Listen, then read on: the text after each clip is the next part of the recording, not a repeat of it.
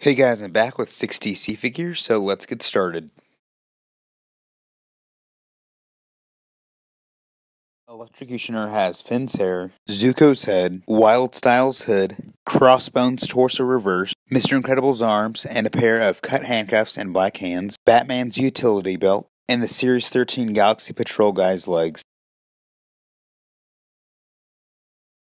Atom Smasher has the Mighty Micro Magneto head, Hyperion's torso, as well as two skin colored arms, a pair of cut handcuffs, and two skin colored hands, and then the Series 16 Ice Photographer's legs.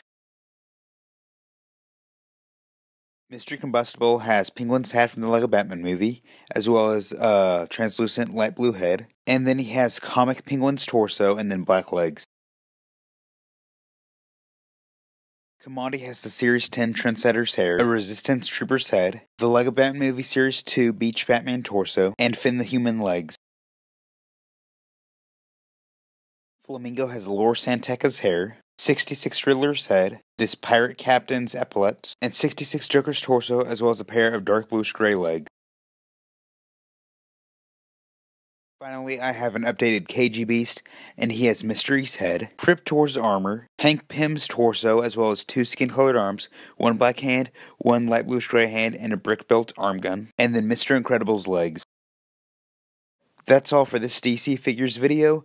Uh, thank you guys so much for watching. Make sure to like, share, and subscribe. Uh, make sure to leave a comment who is your favorite down in the comments, and return to my channel for more customs and for my next video.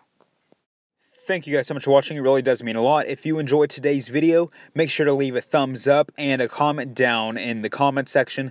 Also, make sure to subscribe to my channel. And then if you do want to see uh, customs before they are featured on YouTube, make sure to check out my Flickr page and Instagram.